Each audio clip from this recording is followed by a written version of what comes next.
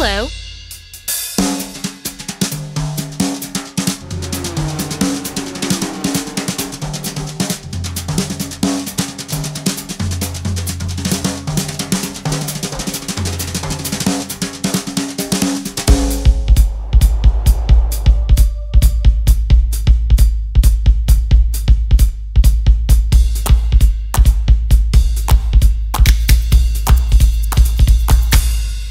आज रात 12 बजे से संपूर्ण देश में संपूर्ण लॉकडाउन होने जा रहा है।